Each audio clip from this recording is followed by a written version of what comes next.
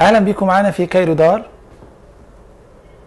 من شوية قلت لكم إن موضوع القراءة من الموضوعات الثمانيه المقررة علينا وهو موضوع القدس مدينة عربية إسلامية. قلنا طريقة تعاملنا إحنا كطلبة مع أي موضوع قراءة لازم تتم على آه، مرحلتين. المرحلة الأولانية معرفة مجموعة المعلومات اللي أنا المفروض أنا كطالب أكتسبها. دي مرحلة أولى والمرحلة رقم اتنين هو تدريب نفسي على الأسئلة اللي بتيجي على الدرس اللي أنا ذاكرته. إنما مذاكرة بس بدون التدريب على الأسئلة العملية هتبقى ناقصة. ماشي؟ وأنا ما استناش لغاية آخر السنة عشان أحل امتحانات لأ أول بأول. الدرس بإيه؟ بأسئلته. فتعالوا نشوف كده مع بعض وإحنا شرحنا معاكم درس القدس مدينة عربية إسلامية. تعالوا نشوف كده مجموعة من أفكار الأسئلة على الدرس دوت. بيجي يقول لي ما الحقائق التي زيفها اليهود بالنسبة للقدس؟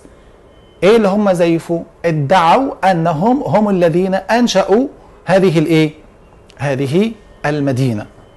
ادعوا أنهم هم الذين أنشأوا هذه المدينة. أهو. زيف اليهود الحقائق فادعوا أنهم هم الذين أنشأوا أنشأوا الهمزة على الألف. هم الذين أنشأوا القدس وحاولوا إقناع العالم زورا وبهتانا بأنهم هم الذين شيدوها. خلاص؟ فهذا زيف وكذب. خلاص؟ فهم رمز الزيف والإيه؟ والكذب. طيب. سؤال آخر بيقول لي كشفت المصادر التاريخية؟ كيف كشفت المصادر التاريخية والآثار القديمة زيف ادعاءات اليهود؟ معنى كلمة ادعاء أصلا يعني آه، كذب. المصادر التاريخية والتاريخ الحقيقي وليس التاريخ المزيف الذي يلجأ اليهود إلى تصديره للعالم أن الذي أنشأ هذه المدينة هم العرب الكنعانيون منذ آلاف السنين. إذا كان اليهود قالوا أربع 3000 سنة فتم إنشاء هذه المدينة على يد بني كنعان من أربعة آلاف عام. وتم احتلال توافد على هذه المدينة محتلون كثيرون من ضمنهم مثلا الإسكندر المقدوني ومن ضمنهم الفرس ومن ضمنهم الهكسوس ومن ضمنهم ومن ضمنهم وأخيرا كان الاحتلال الروماني والرومان دول هم أوروبا لهذه المدينة التي تم تحريرها في عهد الخليفة العادل عمر بن الخطاب. وبني هناك عند الصخرة المقدسة مسجد قبة الإيه؟ الصخرة ومسجد عمر بن الخطاب. فده الدلالة على عروبة القدس منذ القدم وإسلاميتها. هاي. أيضا من الأسئلة يجي يقول لي المصادر التاريخية والآثار القديمة كشفت ادعاءات آه، اليهود. أنا عايز أثبت عروبة الخالصة لهذه المدينة. فأنا دلوقتي لاحظوا أن أنا هجيب معلومة قديمة ومعلومة جديدة. المعلومة القديدة القديمة متمثلة في أن العرب الكنعانيين هم الذين بنوا هذه المدينة منذ آلاف السنين أربعة آلاف عام. هذا دليل على العروبة.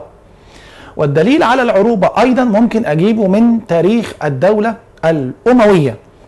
تاريخ الدولة الأموية وما فعله عبد الملك ابن مروان ومن بعده ابنه الوليد ابن عبد الملك. طيب.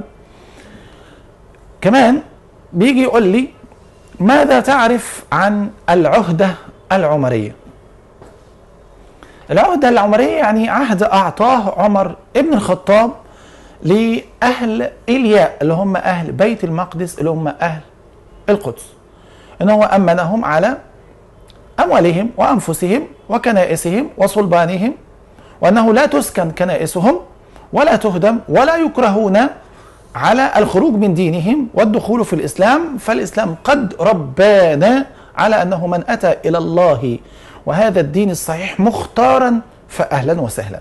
ومن لم يأتي فاهلا وسهلا. خلاص؟ والله يفصل ما بين العباد يوم القيامة. لا إكراه في الدين قد تبين الرشد من الغي. خلاص؟ طيب. في نص هذه العهدة أنه لا يسكنها اليهود. ماشي؟ لأنهم أهل كذب وغدر. أهل كذب وغدر. أهل كذب وغدر. طيب. بيجي يقول لي ما موقف عمر بن الخطاب من الصلاة في في الكنيسة؟ إن هو صلى خارجها. حتى لا يتخذها المسلمون من بعده سنة يتبعونها. فيؤدي ذلك إلى إيذاء أهل هذه الإيه؟ هذه الديانة. فنحن لا نحب الاعتداء وهكذا ربانا الإسلام العظيم على عدم الاعتداء. قال الله ولا تعتدوا إن الله لا يحب المعتدين. وقلنا أصلا الإيمان اختياري. كما قال الله فمن شاء فليؤمن. ومن شاء فليكفر. طيب هنا بيجي يقول لي كيف تحقق أمل نور الدين محمود؟ خلاص؟ ومتى قربت النهاية المحتومة للصليبيين؟ إمتى تحقق أمل نور الدين محمود؟ هو اولا لما عمل على توحيد المسلمين آه، استولى على مدينة دمشق عاصمة الإيه؟ الشام. خلاص؟ وبعد كده أرسل آه، أحد قادته أسد الدين شريكو وصلاح الدين الأيوبي إلى مصر وتم ضم مصر إلى الدولة النورية بعدما قضى على الخلافة الفاطمية الشيعية التي امتدت في مصر 200 سنة. وأكمل هذه الجهود في القضاء على الخلافة الفاطمية الشيعية الكافرة مدة 200 سنة. أكمل هذه المحاولات صلاح الدين الأيوبي. طب بيجي يقول لي كيف كان صلاح الدين آه، ذكيا في الاستيلاء على عكا؟ إحنا دلوقتي عن ساحل البحر المتوسط فأنا أقول له طبعا الإمارات دي اللي هي من أول عكا حتى بيروت على الساحل المتوسط آه، كانت مراكز إمداد وتموين واستقبال للإمدادات التي تأتي من أوروبا للصليبيين في آه، الشام. فذكاء صلاح الدين أنه حرر هذه المدينة عكا وما الإمارات حتى بيروت مستعينا بالأسطول المصري فكان الهجوم عليها هجوم بري وهجوم بحري حتى يقطع خطوط الإمداد فيحاصر الصليبيين في الشام وقد كان وانتصر انتصارا مبهرا وتم تحرير القدس بعد احتلال دام تسعين سنة. بيجي يقول لي اذكر المساجد التي تشد إليها الرحال. يعني إيه؟ طبعا لأن النبي صلى الله عليه وسلم قال لا تشد الرحال إلا لثلاث مساجد. المسجد الحرام وهو في مكة والمسجد النبوي وهو في المدينة المنورة والمسجد الأقصى ويكون في القدس. شد الرحال يعني إن أنا أسافر ليهم مخصوص عشان أصلي فيهم مخصوص. لاحظوا إن إحنا حيث ما حضرتني الصلاة فأنا أصلي في أي مسجد لا أقصد مسجدا مخصوصا في الصلاة صلي في أي إيه؟ في أي مسجد والذي يقصد المساجد تقصد لذاتها هم؟ هما الثلاث مساجد دول المسجد الحرام والركعة فيه بمئة ألف ركعة والمسجد النبوي والركعة فيه بألف ركعة والمسجد الأقصى الأسير الآن والصلاة فيه بخمسمائة ركعة هذا الثواب العظيم لهذه المساجد الثلاثة آه، سببه لمكانتها الكبيرة في هذا الدين العظيم وهو الإسلام. بيقول لي أذكر مثالا آه، توضح به سماحة المسلمين مع المسيحيين. فأنت ممكن تجيب لي مثال اللي هو العهدة العمرية لأنه أمنهم على أنفسهم وأموالهم وكنائسهم وصلبانهم ولا تسكن كنائسهم ولا تهدم ممكن تجيب لي المثال ده. وممكن تجيب لي المثال إن هو الحجاج المسيحيون لم يمنعوا ولكن يسرت لهم رحلاتهم للحج إلى هذه المدينة الإيه؟ المقدسة وعاشوا مع المسلمين في آه، سلام دون أن يعتدي أحد على أحد. فما هو مبرر اعتداء المسلمين؟ ليس هناك مبرر. ونحن أهل قوة لأن إحنا ساعتها كنا أهل قوة فليس هناك مبرر للاعتداء لأن إحنا ممنوعين من الاعتداء بقوله تعالى ولا تعتدوا إن الله لا يحب المعتدين. طب بيجي يقول لي ماذا تعرف عن القدس؟ ماذا تعرف عن العرب الكنعانيين؟ ماذا تعرف عن صلاح الدين؟ فلما أنا أقول له القدس هقول له هي مدينة أور سالم. وأنا اتفقت معاك ورغم إن الكلمة موجودة في الكتاب وهي كلمة اورشليم ولكن لا يصح إن أنا أقول أور سالم وأنطقها بطريقة نطق اليهود وهي كلمة أور سالم. هم بينطقوها اورشليم فأنا المفروض أنطقها النطق العربي أور سالم. وهي عاصمة فلسطين المحتلة وفيها المسجد الأقصى وفيها مسجد قبة الصخرة. والمسجد الأقصى هو قبلة المسلمين الأولى فهو أولى القبلتين.